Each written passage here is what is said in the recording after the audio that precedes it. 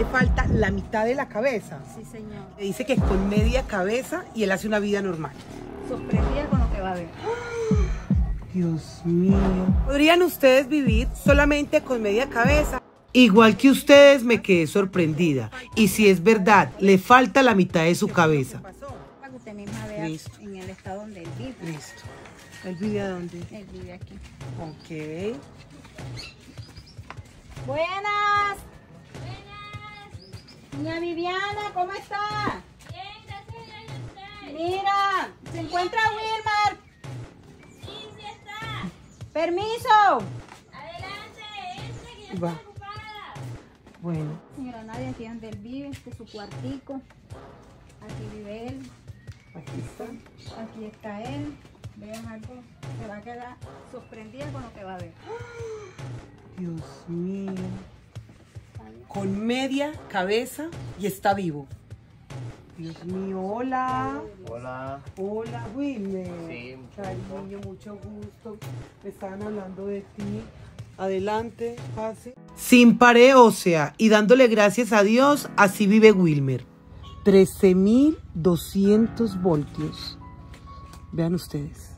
¿Cómo es posible que una personita, después de haber tenido un impacto eléctrico tan grande, aún estén con vida? Yo creo mucho en Dios. Creo también en el buen muchacho que es. Él sobrevive alquilando lavadoras a dos mil pesos por hora. Milagro de Dios.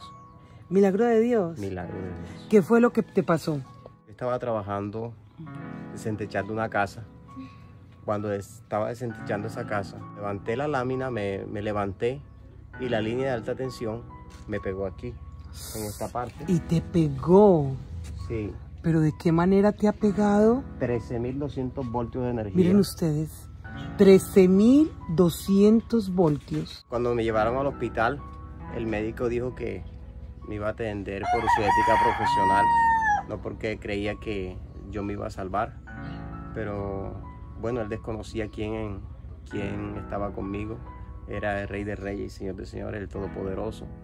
Eh, siete días después, eh, yo llegué inconsciente, siete días después, estando en UCI, pues reaccioné y, me llevaron a piso y es algo que, que le quiero comentar más exactamente. Estando en piso, teniendo un día estar allí en esa, eh, en esa habitación, en esa camilla, mi mamá estaba doblando una ropa y yo estaba acostado. Entonces, cuando yo estaba acostado, entró un médico y a mí sí me sorprendió porque cada médico eh, tenía una escarapela con su nombre aquí más sin embargo este no la tenía.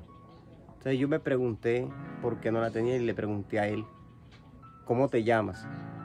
Él se bajó el tapabocas, se sonrió y me dijo, yo soy Jesús y soy el médico. No sabía quién me había hablado, pero sí sentí que algo sobre mí descendió. Mi mamá se quedó perpleja, no, no podía hablar, no podía reaccionar. No hay mercadito porque se compra el día a día a medida que vayan trabajando las lavadoras. Así eh, se va comprando que hay para comprar la libra de arroz, hay para comprar la liga y así. Me voy a ir un ratico y luego te tengo una sorpresa, ¿vale? Ah, bueno, bueno. ¿Listo, mi amor? Dale. Al ver la situación económica de Wilmer, quise darle una sorpresa y así reaccionó. Wilmar. Hola. Hola. Vea el regalo que le trajimos. Amor, venga a ver. Este regalo es con todo cariño, mi amor. ¿Ah? Gracias. ¿No te lo esperabas? No. Dale, entonces, nada, entonces para que cojamos las cositas y las entremos para ti, mi amor. Gracias, señora Nancy. Dale, entonces eh, entremos las cositas, sí. Dale. Dios sabe que sí lo estábamos necesitando. Gracias a Dios, eh, pues el Señor nos ha bendecido hoy y cada día pues el Señor sorprende más a uno. Que he visto los milagros de Él en mi vida y todavía me sigue sorprendiendo. Entonces, realmente muy contento, agradecido primeramente con Dios y con usted.